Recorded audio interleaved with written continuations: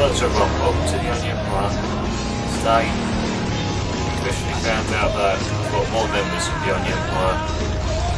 Now that been a lot of different now that former chairman Joe Blow, he's made a decision of moving to Spain, but I can imagine that he won't last long.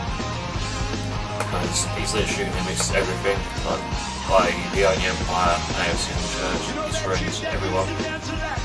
But back to the Only Empire, because of James's departure, Toby has also left, which is also the Only Empire.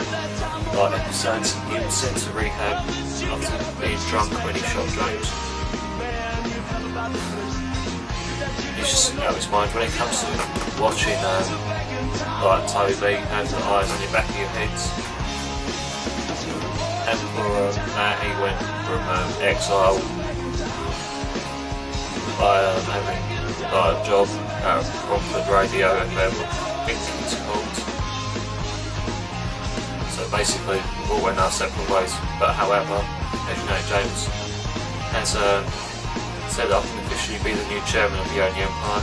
Now, I've got more members who are Sean Shepherd, Stephen Harvey, John Harvey, and Russell Hurst. All so uh, it's wrapping it up.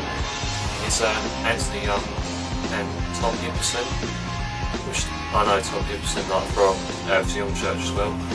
It's going to be a pleasure working with them lot. So I congratulate them.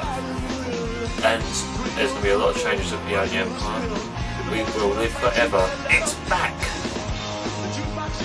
Blasting out my favorite song. These nights are getting longer and it won't be long, won't be long till summer comes.